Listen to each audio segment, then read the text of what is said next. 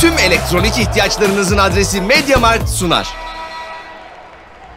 MediaMarkt'ın sunduğu Game Night'ta konumuz NFL Draft'i.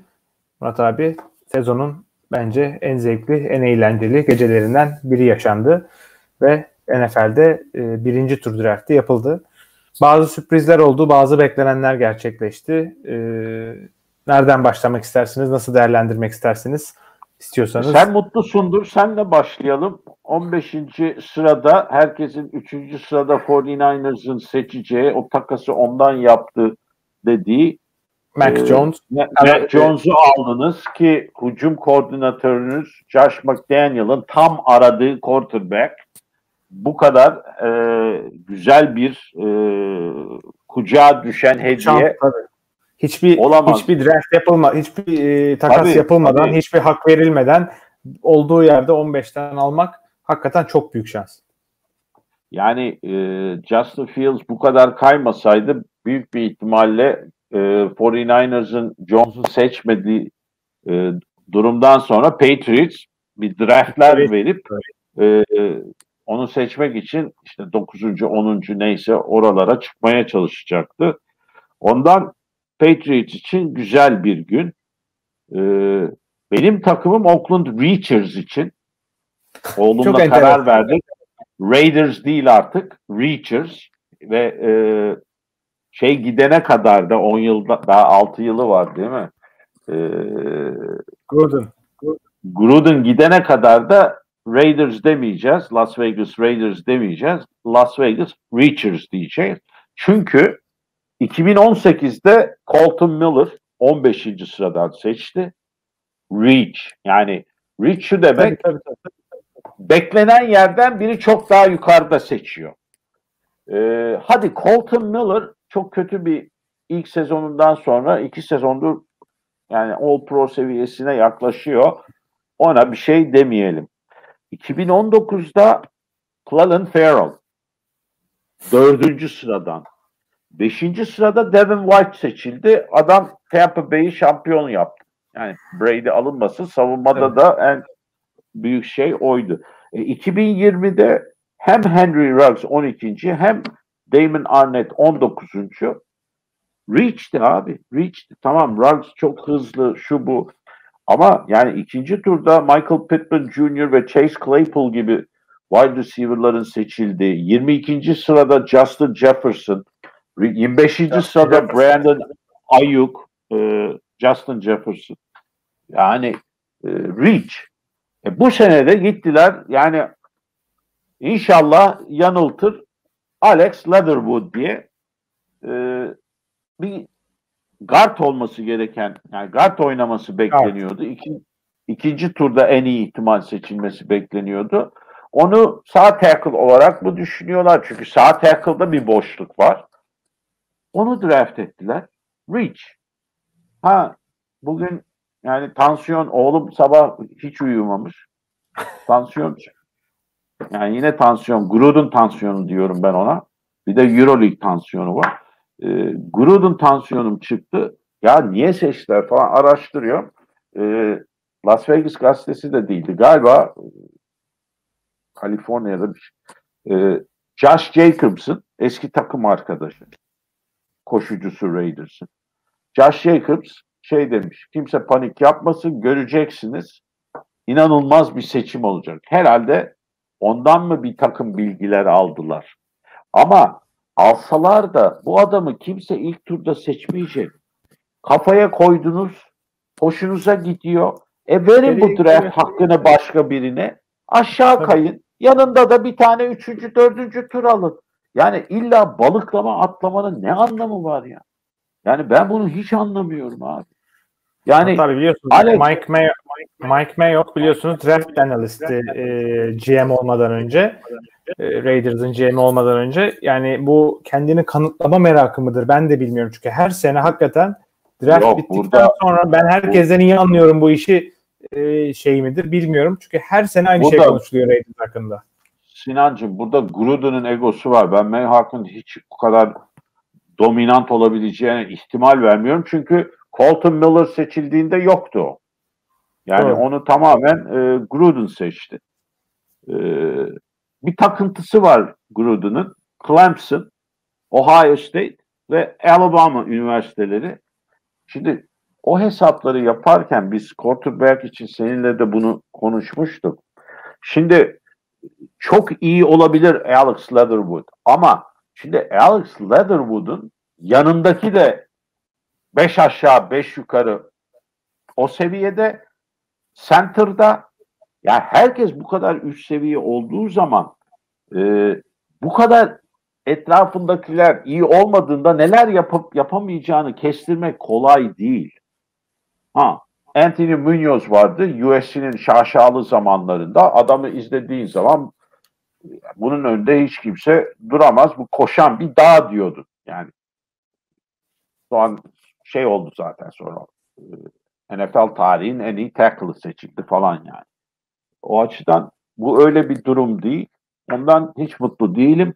Ama diğer e, seçimlere gelirsek yani tabii hepsini burada konuşamayız. Belki Bence e, 49ers'ın 49ers'ın Trey Lance e, seçimi çok e, işte Mac Jones mu Trey Lance mi konuşuyordu Murat abi? Onu nasıl değerlendirdiniz? Valla şimdi e, 17 tane maç oynamış bir oyuncudan söz ediyoruz. Şimdi potansiyeli çok yüksek. Bunu herkes söylüyor. Ama son 40 yılda ilk turda seçilen bütün quarterbackler arasında en az pas denemesi yapmış quarterback. Oynadığı lig çok kuvvetli bir lig değil. Ee, sadece bir interception atmış. O da oyunu iyi okuyabildiğine dair bir göstergede olabilir. Çok basit oynadığının da bir göstergesi olabilir. Şimdi o maçları izlemediğimiz için yani o kadar bütün geleceğini e, takas edip bu riski almak bana biraz e, soru işareti geldi. Ya kafalarında olan quarterback'i araştırdıkça caydılar. E, bu kadar e, geleceği takas edip orada quarterback seçmemek de olmaz. E, bu en büyük bardak, en boş bardak. Biz bunu doldururuz mu diye düşündüler. Yani o takası yaptıklarında yani bana sorarsan Lance e, akıllarında olan quarterback olamazdı diye düşünüyorum. Şimdi tabii öyle de gelişti ki belki de hayırlı olmuştur onlar için. Jimmy G elde patladı. Çünkü Jimmy G ile ilgilenen takımlar Denver e, gitti Bridgewater'ı aldı. Ondan sonra Chicago Bears çok e, cesur bir hamle yapıp 10. sıraya yükseldi. Justin Fields'ı aldı. E, New England'da da şey düştü işte. E, Jones düştü. E, hadi diyelim ki Lance müthiş başladı. E, güven kazandı. E, Jimmy G'yi ne yapacaksın? Bedavaya oynamıyor ki. Yani San Francisco için bana sorarsan hem şanssız hem de riskli bir gün oldu diye düşünüyorum. Hatta ee, benim, e, iz, benim izlediğim programda e, John Lynch ile Kyle Shanahan ESPN'e bağlandılar draft'ten sonra e, Van Pelton programına. Dediler ki biz e, takas ya gerçekleştirdiğimizde aklımızda iki tane isim vardı. Bu iki ismi de araştırdık ve çok incik cincik gördükçe e, çok daha e, öne geçti dedi e, Kyle Shanahan Trey Lance için ve de e, aslında zaten ilk seçimimiz oydu bizim ama insanlar diğer isimden bahsedince biz de o, o aman yanlış söylüyorsunuz diye düzeltmedik. Bize aslında bir favor yaptı bütün NFL yorumcuları falan diye tabii ki böyle söyledi. Ama e, ben de size katılıyorum. Belki de NFL tarihinde alınmış en büyük risklerden biri. Bu kadar fazla draft seçme hakkı verip bu kadar bilinmez ve az oynamış bir oyuncuyu e, bütün franchise'ı riske ederek, geleceği riske ederek resmen anahtar teslim veriyorlar. Ya çok büyük bir başarı çıkacak ve herkesin anlattığı bir hikaye olacak ya da aman aman hikayesi olacak. Bakın 49ers'a bu riski aldılar görüyorsunuz başına gelenleri diye.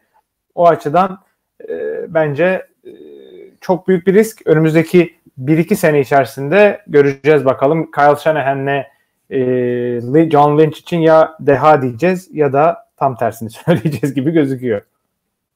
Hayır yani şimdi potansiyeli var. Ee, 2-3 yıl, 4 yıl ama o 2-3 yıl yani şimdi Önemli. artık öyle bir döneme girdik ki e, quarterbacklerin çaylak kontratı devam ederken zirveye oynamak kolay. Tabii tabii.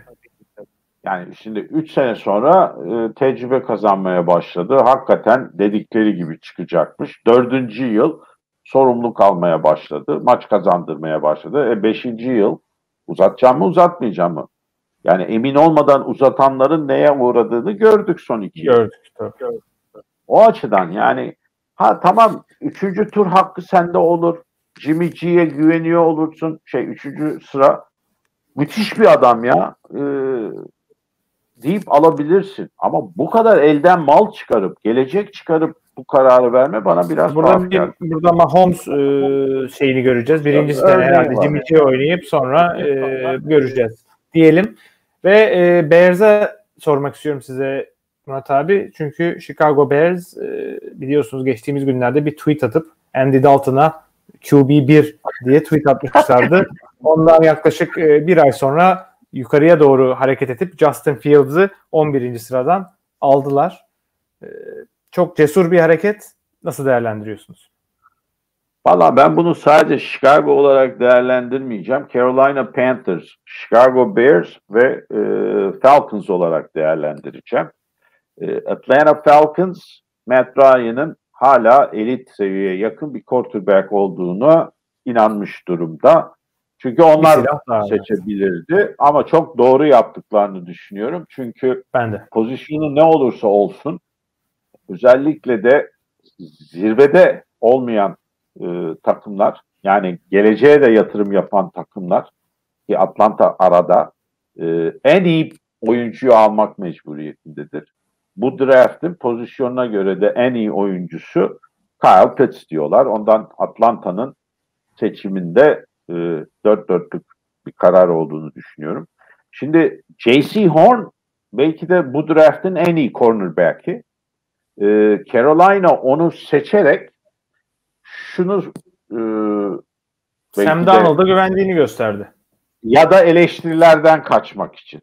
Yani Sam Darnold'u aldınız, e niye şimdi Justin Fields'ı draft ediyorsunuz eleştirilerinden kaçmak için. J.C. Horn burada e, çok iyi bir cornerback olursa e, yani Fields'ın Bears'de ne yapacağından bence e, uzakta iyi bir seçim olarak değerlendirilir. Ama elit bir cornerback olursa. Şimdi Chicago Bears'in bu sene e, genel menajeri araya girip bir de Broncos'dan da bir parantez açmak istiyorum ben. Broncos'da biliyorsunuz Olur, Teddy, olur. Bridge, Teddy Bridgewater'ı takasla hemen e, draft'ten önce takımına eklediğini açıkladı e, Panthers'dan. Onlar da aslında bir quarterback alması beklenen bir takımdı. Bridgewater'ı alınca ben hala Fields onlara düştüğünde alacaklarını bekliyordum açıkçası. Çünkü Bridgewater genelde e, köprü quarterback dedikleri geleceğin Evet. quarterback'i değil ama 1-2 sene idare etsin quarterback'i oluyor genelde. Fields'ı onun arkasında bir sene geçirdikten sonra devralır diye düşünüyordum. Ama onlar öyle düşünmemiş ki onlar da ikinci en iyi veya e, en iyi cornerback'lerden biri olan e, Patrick Surtain'i aldılar. Bu da Chicago'ya bahsettiğimiz fırsatı yarattı.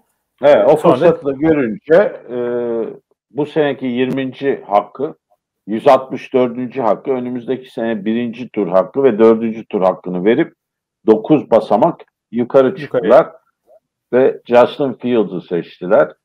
Şimdi Ohio State, USC çok quarterback yolluyor NFL'a. Bir tanesi çok elit, bir, yani bir tanesi bile çok elit veya elit veya çok çok iyi quarterback olmadı bana sorarsan. Carson Palmer belki en iyisi. Ama Raiders'ın başına neler getirdiğini bildiğim için ben onu da hiçbir zaman elit sınıfına e, koymuyorum. Şimdi bu Alabama için de geçerli. O kadar iyi wide receiver'larla oynuyorlar ki, o kadar iyi korunuyorlar ki yani o karar verme anı geldiğinde birinci opsiyonun kapanmış. Doluysa, İkinci tabii. opsiyonun tutuluyor. Orası çok önemli. Yani tamam Justin Fields kendisine zaman kazandıracak atletizme sahip. Yani Mahomes gibi. Ama o zamanı kazandırdıktan sonra koşarken ya da pocket'ın dışında o kararları nasıl verecek? Ama Bears'ın bir şey yapması lazımdı. Bence yine de çok fazla vermediler. Bence de. Neler verildiğini gördüğümüz için son birkaç aydır. Eğer tutu, tutarsa da Justin Fields e, onlar için e, job saver olacak. Hem koçun hem genel menajerin belki de işini kurtaran bir seçim olacak. Andy Dalton da Türkiye'de e, yöneticiler koçumuzun arkasındayız dediğinde Demek ki iki hafta müddetim kaldı görevimde. Son E, yine iyi. Onu da anlamış durumda yani. Tabii, Ha, bu arada. Raiders'ı giydim yüzümden. Tam e, Türkiye'de evet koçumuzun arkasında izliyorlarsa iki mağlubiyet hakkı kaldı demektir Murat abi. Çok güzel özetlediniz. Ve programı kapatmadan dün aslında draft'ten önce gündeme bomba gibi düşen haberi size soracağım. E, Aaron Rodgers'ın Green Bay Packers'dan e, organizasyondan bazı insanlara artık çok mutsuz olduğunu ve Packers'a dönmek istemediğini ilettiği konuşuldu. Ve de e, bütün draft'ı aslında biraz da gölgeledi bu haber. Ne diyorsunuz? Aaron Rodgers'ın ki kontrat şey mi yoksa Ya- hakikaten e, Green Bay'den gidecek mi? Ya o değişik bir adam biliyorsun. Ee, kimi diyor ki e, Packers'ın elini zorlayıp bu sene mutlaka ona yardım edecek oyuncu draft etmesini için böyle bir şey söyledi. Kimi gerçekten oynamak istemiyor e, diyor. Yakında öğreniriz çünkü 29. e, sırada Packers ona yardım edecek bir oyuncu seçmedi. Eric Stokes'u seçti Georgia'nın cornerback'ini. Ama tabii şimdi Packers da diyecekti kardeşim benim sıram geldiğinde 5 tane wide receiver zaten seçilmişti. E zaten benden sonra da hiçbir hücum oyuncusu seçilmedi. Bütün seçen takımlar savunma oyuncusu seçti. Aaron Rodgers da kafaya koymuşsa diyecek ki kardeşim bak Bears nasıl 9 basamak yukarı çıktı. E sen Veya de yukarı Eagles. Eagles yukarı tabii. çıktı bir tane receiver aldı. sen de bana yardım edecek adamı almak için yukarı çıksaydı diyecek. Yani kısa bir süre içinde bu belli olur. Ama e, Packers'ın yönetimi e, Rodgers bu sene bizim quarterback'ımız diyor. Ama tabii zorla da güzellik olmaz. E, eğer çünkü o biraz da inatçı. Gerçi e, kariyer egosu da üst seviye. İstemeye istemeye de çok acayip oynayabilir enteresan gelişmeler olacak. Eğer move up yapıp wide receiver alsaydı çok net bilecektik. Hala ben gitmek istiyorum de, de- deseydi tamam o zaman Green Bay'i silmiş. Aa çok teşekkür ederim bakın bu kadar özveri yaptınız bana dört dörtlük bir tane wide receiver aldınız ben burada kalırım da diyebilirdi ama şu anda biraz zamana ihtiyacı var e, bu gidişatın nasıl sonuçlanacağını anlayabilmemiz için. Hatta burada e, Aaron Rodgers'ın kontratı 2023 sezonunun sonunda bitiyor. O yüzden hala e, Green Bay'in kontrat imzalamadan e, Aaron Rodgers'ı kadroda tuttuğu ve de o oyuncuların istemediği e, konumda tuttuğu bir e, dönemde olacak gibi gözüküyor. Etrafına bakıyor Aaron Rodgers. Muazzam kontratlar havalarda, garantiler havalarda uçuşuyor. Aaron Rodgers'ın kontratına göre şu anda hiçbir garanti ücreti kalmadı Green Bay'de. Çünkü front loaded dedikleri yani önden öndeki birkaç senede zaten garanti ücretinin hepsini almıştı. Şimdi oynama ve performans başına veya Allah korusun bir sakatlık olursa hiç para kazanamadığı e, takımdan kes- kesildikten sonra hiç para, para kazanamadığı bir e, duruma geldi. O açıdan da yeni kontrat istediğini biliyoruz. Geçen sene ikinci quarterback'in e, Jordan Love'ın onun arkasına draft edilmesinden memnuniyetsizliğini ve de ona bir silah alınmadığından dolayı memnuniyetsizliğini biliyoruz. Bir de söylediğiniz gibi Aaron Rodgers zaten biraz e, nazlı ve liderlik özelliği hep sorgulanan oyunculardan bir tanesi. Yeteneği hiç tartışılmayan ama saha dışındaki liderlik özelliği sorgulanan insanlardan bir tanesi. O yüzden Green Bay'de biraz e, siz de hatırlarsınız Brett Favre'ın son yıllarında da Brett Favre'la Green Bay arasında çok büyük takışmalar oluyordu. Yok bırakacağım, retire edeceğim, bırakmayacağım, geleceğim, oynayacağım diye Brett Favre zorluyordu biraz Green Bay'i. E, bu transition dönemlerinde quarterback'lerle e, organizasyonlar arasında çekişmeler oluyor. Brady ile Belichick arasında ve New England'da olduğunda da görmüştük son senelerde. Bu bence bitişin habercisi. Ama o bitiş ne zaman olur? Bir, bu sene mi, seneye mi e, veya kontrat bittiğinde mi ondan sonraki sene mi göreceğiz. Ama bu sesler çıkmaya başladığı zaman artık e, bir yolun sonuna geldiğimizi bence görüyoruz gibi geliyor bana. Bu çekişmeler onu gösteriyor genelde. NFL'deki bir sürü takımda e, ağzı sulanarak bekliyordur. Keşke Aaron Rodgers bize gelse son senelerini bizde geçirse diye.